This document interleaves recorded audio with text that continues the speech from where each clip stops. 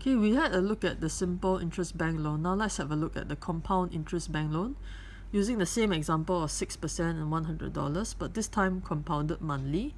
How do we find what is the effective annual rate? Now let's have a look. If it's compounded monthly, we have to first figure out what is the monthly percentage or what is the monthly interest rate. In order to find the monthly interest rate, we take 6%, which is the annual quoted rate. Okay, remember this is the annual quoted rate divide by 12 months. So this is the monthly interest rate. However, you have to remember that it's compounded monthly.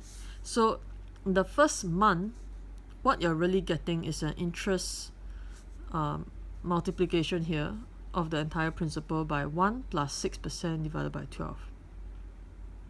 Now in the second year, because it's compounding, you will multiply this by another round of 1 plus 6% divided by 12. Because remember, whatever you're, you're incurring in the first month is going to roll over to the second month. Okay, and then another round of interest will be applied to it. So if you do this over 12 months, and you keep doing this for 12 months, what you'll get is really at the end of it here is 1 plus 6% divided by 12 to the power of 12. Okay, so this is how many times it's going to be compounded by. It's going to be compounded by 12 times because it's 12 months in a year. It's compounded monthly. So how do you find the effective annual rate?